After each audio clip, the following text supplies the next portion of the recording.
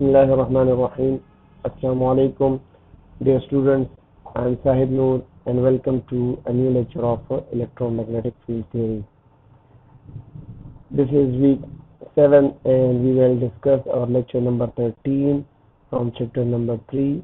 Title name of the chapter is Static Electric Field. Our main topics of this lecture is to discuss a Faraday's experiment and in which he was discussing about uh, displacement flux and a quantitative quantity electric flux density. We will discuss these two in detail. And we have also to discuss a basic law related to electrostatic and this law is related with the uh, electric flux through the closed surface and this law is called Gauss's law and we will use Gauss's law and will find the electric field of uh, some continuous charge distribution and will find the electric field. So let's start our first topic which is related with the displacement flux or electric flux. This term is related with the Faraday's experiment of a charge induction. Faraday took two pair of concentric metallic spheres and in which he produced some uh, amount of charge on the inner surface. And the second surface is at a distance r and he separated these two surfaces by some insulating material. And he put some non charges on the inner surface and the behavior of this noun charge is positive. positive and later on he conclude that the charge is induced on the outer surface having same magnitude but opposite polarity as that of the inner sphere so a negative charge of uh, magnitude equals to the positive charge which is charge on the inner surface. And the radius of the inner surface is taken as RA while the radius of uh, the outer surface is taken as RB. And he concluded that there is some sort of uh, displacement from the inner to outer sphere which is independent on the medium.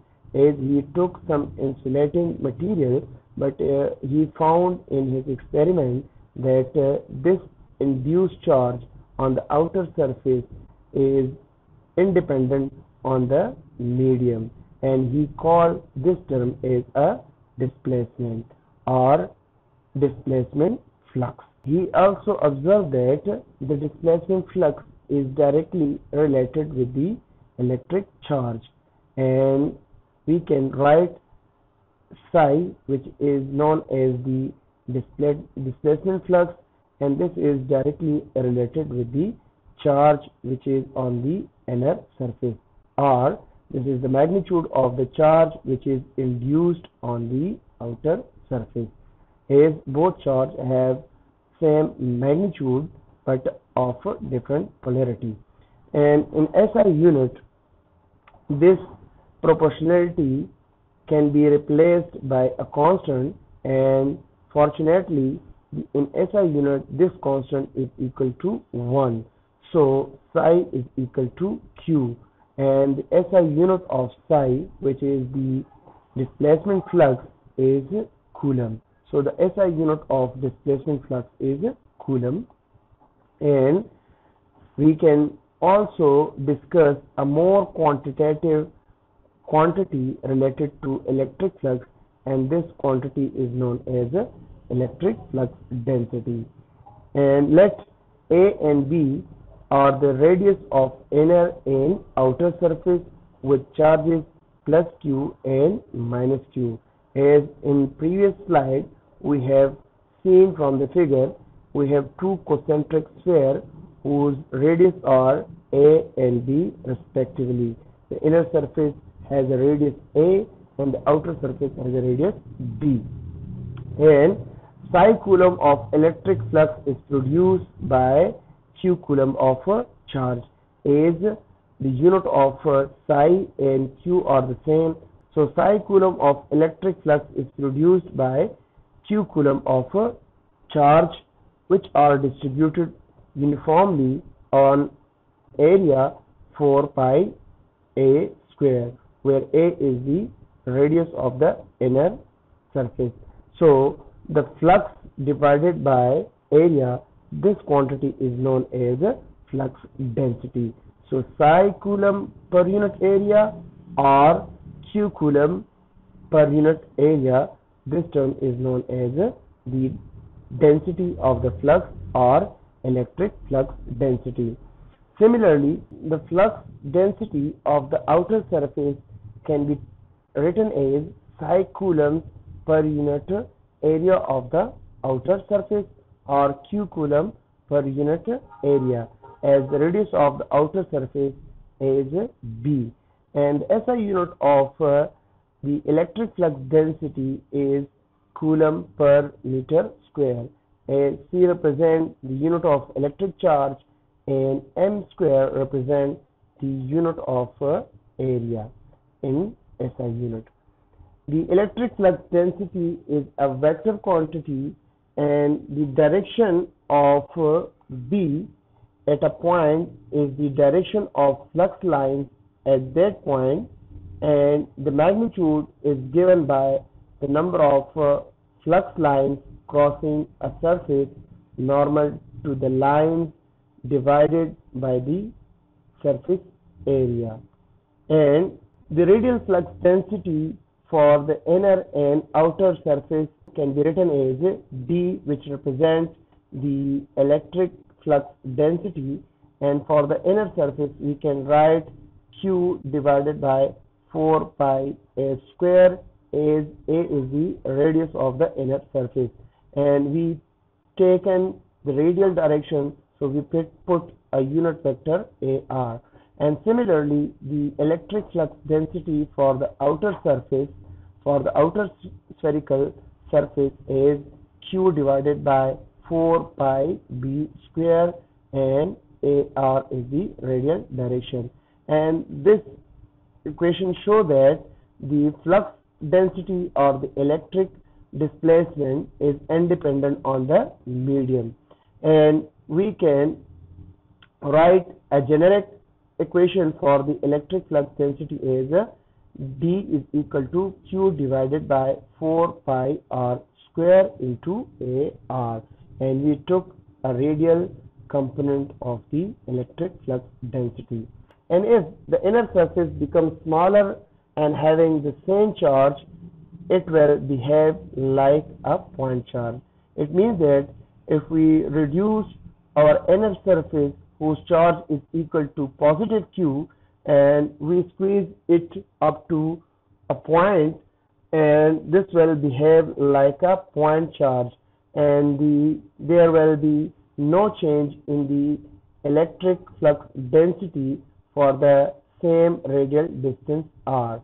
So the r will be the same sorry the d will the magnitude of the electric flux density at a distance r will have the same value as this equation has and we can uh, find the relation of uh, electric flux density with the electric field intensity as we can write the electric field intensity for a point charge equals to q divided by 4 pi epsilon naught into r square and we took the radial component of electric field intensity.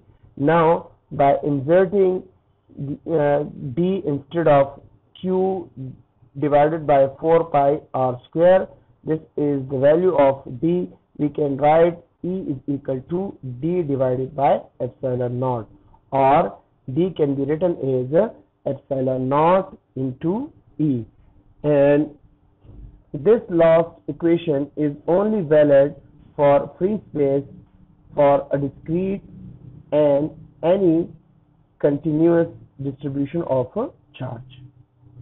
Now after discussing the electric displacement and electric flux density, and we also make a relation of uh, electric flux density with the electric field intensity, we are going to find the electric flux density at a distance r from a line of charge whose linear charge density rho L is equal to 8 nanocoulomb per meter.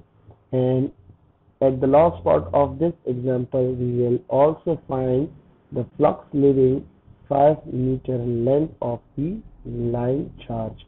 Now, to find the flux density, we first calculate the electric field intensity and the formula for the electric field intensity due to a linear charge distribution is equal to rho L divided by 2 pi epsilon naught into R. And this formula is derived in the previous lecture. We have discussed the infinite line of charge whose linear charge distribution is uniform. And we are just taking the radial direction. So by putting the value of uh, rho L and epsilon naught which is the permittivity of free space and the permittivity of free space is equal to 8.85 into 10 to the power minus 12 the rho L which is 8 nanocoulomb per meter by putting the value of uh, these parameter along with the R which is equal to 3 our electric field intensity is equal to 47.9 in the radial direction the SI unit of electric field intensity is volt per meter which is equivalent to Newton per coulomb and as you know that electric field intensity is associated with the electric flux density when we divide when we multiply epsilon naught the permittivity of free space with the E. So if we insert the value of uh, E in uh, in equation epsilon naught into E the epsilon naught will cancel with epsilon naught and expression for D for a linear charge distribution will be rho L divided by 2 pi R. By putting the value, we will get the electric flux density at a distance r is equal to 3 meter. The value of uh, electric flux density is 0.424 nano coulomb per meter in the radial direction.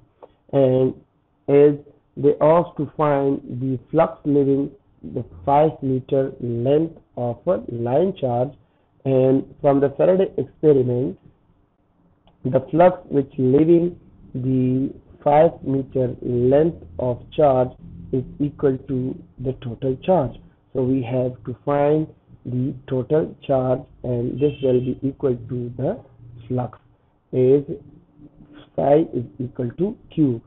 So from the given information our rho L which is equal to 8 nanocoulomb per meter and now we are going to multiply it, it with a Z.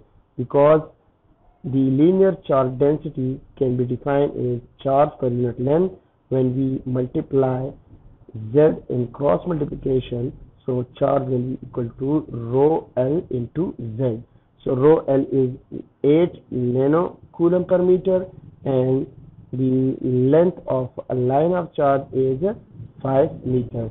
So m will cancel with m and this is equal to 40 nano coulomb. Our next topic of uh, the lecture is to discuss the fundamental law of electrostatics which is Gauss's law.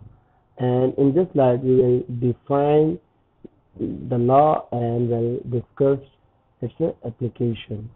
From first postulate of electrostatics which is related with the divergence of static electric field and the divergence of static electric field is equal to rho by epsilon naught. This rho represents the charge density or volume charge density and epsilon naught is the permittivity of free space.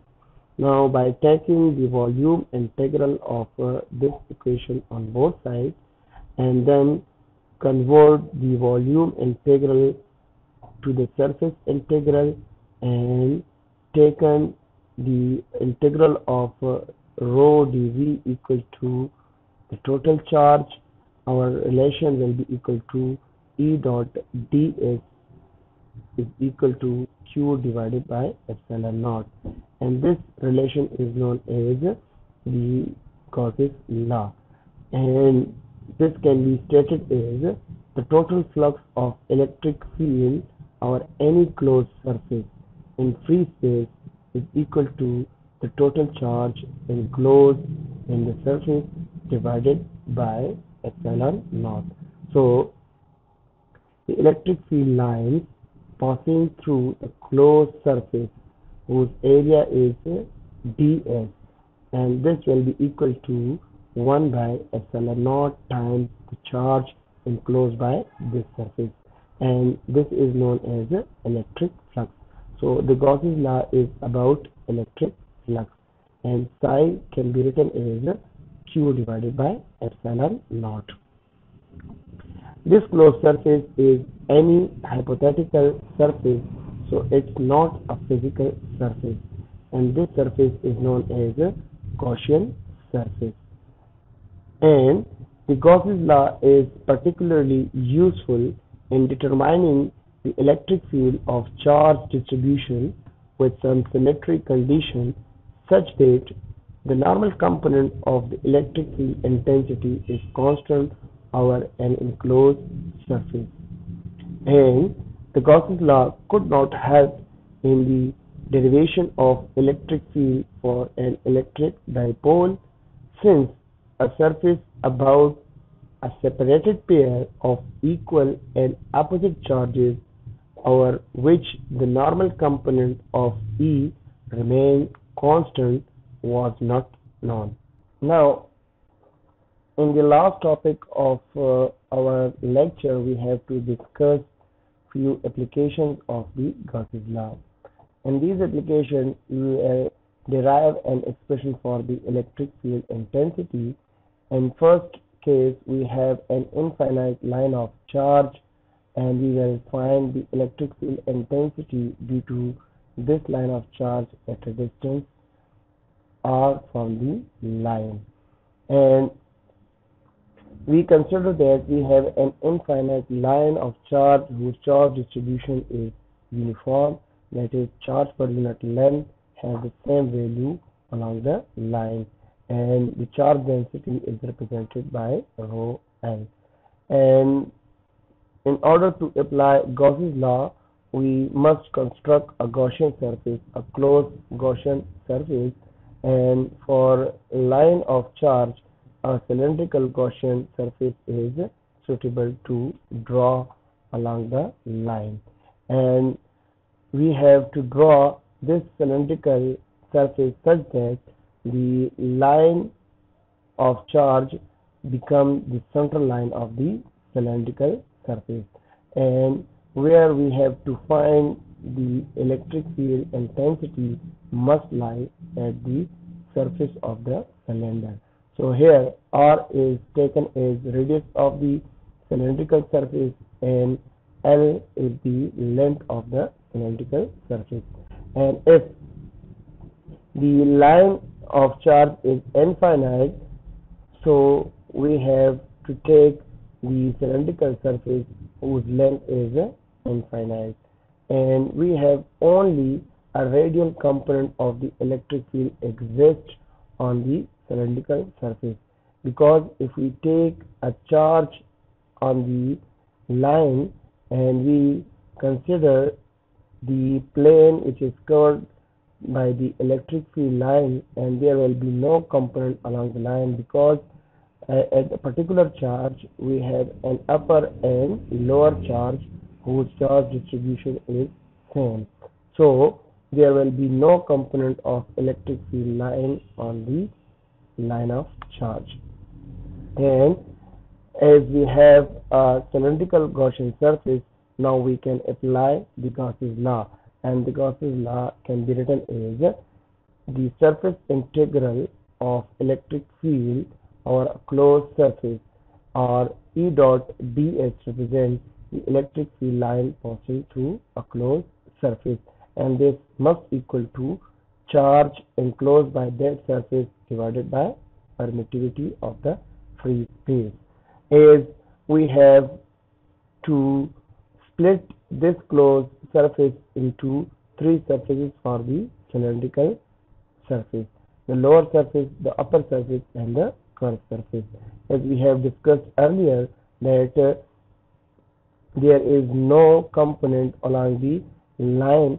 So the upper and the lower integral surface will cancel or we can say that the radial component makes an angle 90 with the normal of the upper surface and normal of the lower surface.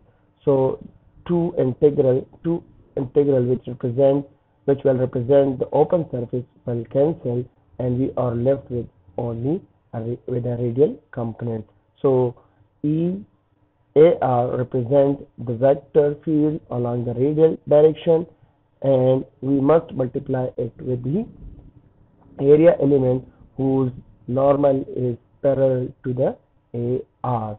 So the surface element will in this case will equal to R d phi dz is we have to use the cylindrical coordinate. So our surface element in the cylindrical coordinate is R d phi dz and A dot AR dot AR will equals to 1 and the right hand side will be the same as q divided by epsilon naught and this single integral will be split into two integral because we have the angle element and the z element in the integral.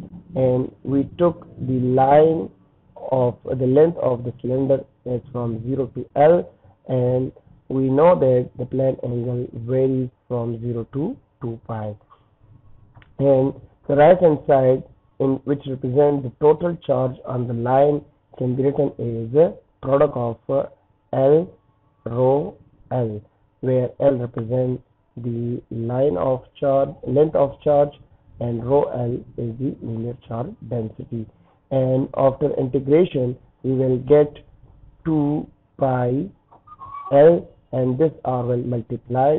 So E into 2 pi R L is equal to L rho L by epsilon naught.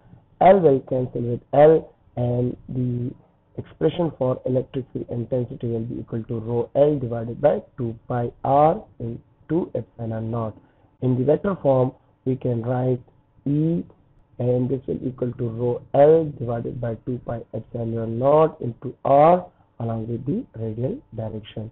And we have derived this expression in our previous lecture which involves some complicated integration. So by using Gauss's law, it is very easy to derive the expression for electric field intensity due to infinite line of charge. In this slide, we will discuss the second application of Gauss's law in which we have to derive an expression for the electric field intensity due to an infinite sheet of charge. So for this, we consider that charges is uniformly distributed or an infinite surface whose charge density is constant and this charge density is rho s representing the surface charge density or charge per unit area. And we consider that our sheet uh, our sheet is extended in the xy plane and the charge is distributed uniformly in the xy plane and in order to apply the Gauss's law we must construct a Gaussian surface.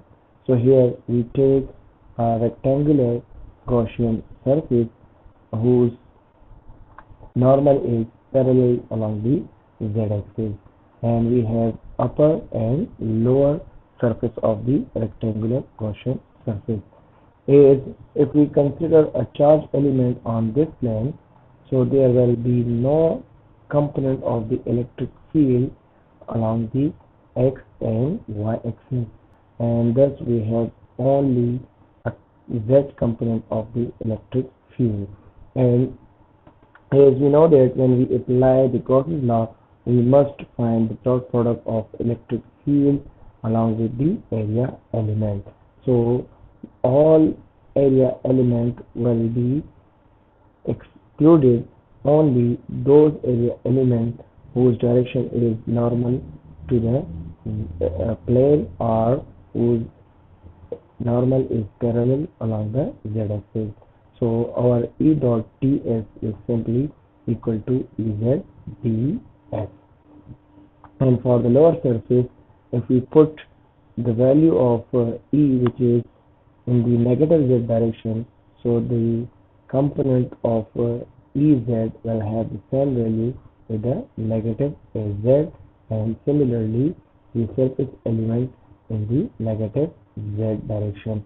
So the dot product will give us again Ez ds. And if we apply the Gauss's law through the whole Gaussian surface, our integral will give us 2Ez into A, where A is the area of the rectangular surface. And this area can be obtained by integrating the surface element ds. And as we know that charge can be written as rho s into area element and this rho s represents charge per unit area. So now by applying Gauss's law, our final expression will be equal to 2 Ez into A and on the right hand side we write rho s into A instead of Q divided by epsilon naught which is representing the permittivity of the free space. So by calculating Ez for the upper surface and lower surface we have two components of electric field along the positive and along the negative axis is given by rho s divided by 2 pi 2 epsilon naught into Az and for the lower surface we have rho s divided by 2 epsilon naught into Az with the negative sign. So let's sum up our lecture. In this lecture we have discussed about the findings of uh, Faraday's experiment in which he discussed about a term known as the displacement flux and a very quantitative physical quantity which is known as the flux density. The flux density is defined as charge per unit area and we have discussed it for a spherical surface and then we have discussed a Gauss's law, a fundamental law of electrostatics which is related about electric flux and the charge distribution on a various surfaces. And we have also discussed the applications of uh, Gauss's law. We have discussed two applications.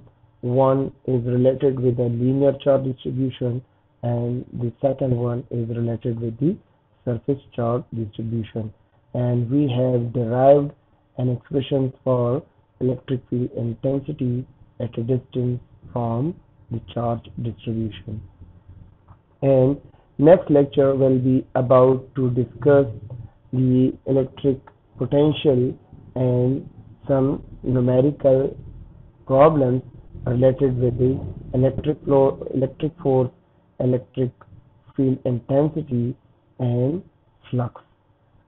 And I hope that you will learn this lecture.